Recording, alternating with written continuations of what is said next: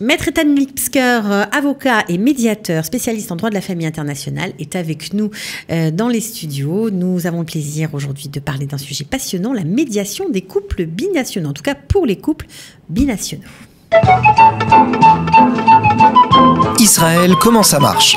Vous allez adorer comprendre Israël. Israël, comment ça marche Sur Studio Kalita. Alors, Maître Lipsker, la médiation, on en entend beaucoup parler. Est-ce que c'est différent lorsqu'il s'agit d'un couple binational, on va dire? Bon, la médiation, c'est euh, c'est quelque chose de très intéressant, très vaste, et euh, on l'utilise de plus en plus dans, dans le domaine de la famille. Et les couples binationaux, euh, on, on utilise surtout parce que on a déjà compris que la Aliyah, si on parle de, de Aliyah, de venir en Israël, et c'est quelque chose qu'on est très content avec, mais des fois ça ne marche pas. Et des fois ça cause des problèmes. Et avec la médiation, on peut eh, essayer de résoudre ces problèmes, de, de les, eh, de, de, le faire un peu moins grand, un peu moins vaste, un peu moins eh, cruel pour le couple et pour les enfants.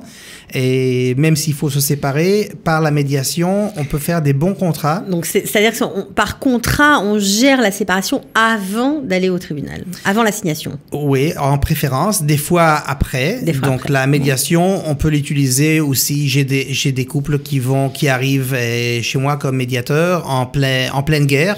Et, et, on arrive quand même à, à, résoudre des problèmes qui ne sont pas capables à résoudre par le tribunal ou bien ça va prendre beaucoup d'années.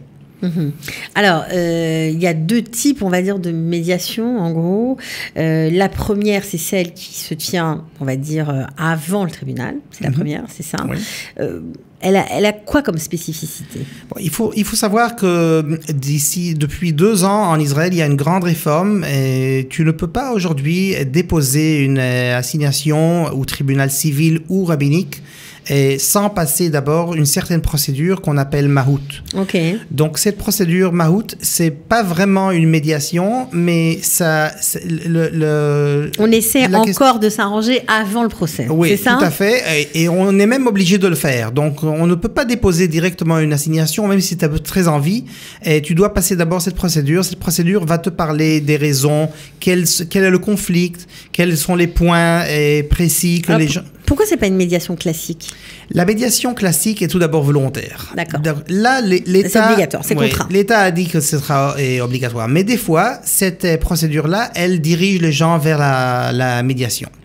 Ok, alors euh, qu'est-ce qui est important euh, Puisque quand on dit médiation, euh, on dit règlement de conflit. Donc pour régler un conflit, il faut un écrit, il faut un contrat. Ouais. qu'est-ce qui doit apparaître dans ces contrats pour que ce soit une bonne médiation? D'abord, il faut se rappeler qu'un bon contrat, c'est un contrat qui va tenir beaucoup d'années, surtout quand on parle d'un contrat et qui s'agit de la loi de la famille, donc le droit de famille, les sujets d'enfants, sujets de séparation, c'est des mmh. sujets qui se, qui se, oui, parce beaucoup d'années. Parfois, pas... on divorce quand l'enfant a deux ans, mais tout à fait. Euh, Tout à fait. Doit... Alors, un bon contrat doit bien tenir et il doit prendre en compte et les sujets qui sont actuels, non seulement quand l'enfant a deux ans, mais quels seront les sujets quand il aura 10 ans, quand il aura 15 ans et même quand il sera à l'armée. Alors, un bon contrat prend en considération tous les, tous les sujets et actuels et futurs. Les biens, j'imagine. Les biens, ça me paraît oui, clair. Les, les, pensions alimentaires. Les biens, les pensions alimentaires, la partager de temps avec les enfants, le ah, divorce, la garde, la, la garde, garde, la garde d'enfants et partager le temps. Aujourd'hui, on parle moins de garde, on parle plus de partager le temps entre les parents. Et okay. il prend, si on parle des couples binationaux, il prend en compte beaucoup les, où, où les enfants vont grandir. Si, si on s'agit d'un couple qui vient de faire son alia et de France en Israël.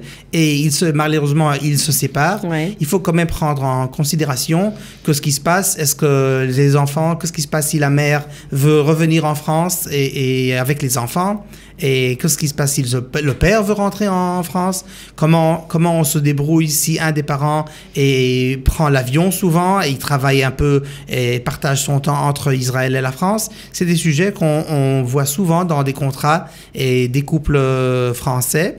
Et un bon contrat donne des réponses à tous ces, à tous ces sujets-là. Oui, parce qu'en plus, on peut déménager. Donc, j'imagine que l'endroit, la résidence a aussi son importance. Et, et, et, les déménagements potentiels futurs doivent être réglés aussi. Oui.